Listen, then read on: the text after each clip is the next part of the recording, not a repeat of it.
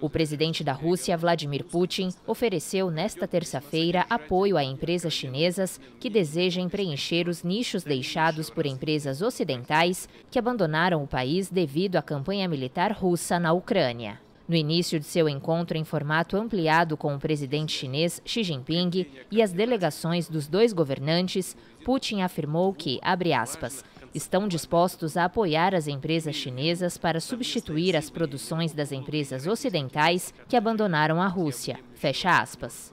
Após o início da intervenção da Rússia na Ucrânia, cerca de 120 empresas ocidentais, dos mais diversos setores, anunciaram a paralisação temporária de suas atividades na Rússia ou a saída definitiva do mercado, o que afetou a economia russa, que vem buscando alternativas para esses bens. Nesse sentido, Putin comemorou o crescimento do comércio entre a Rússia e a China, que atingiu níveis recordes em 2022.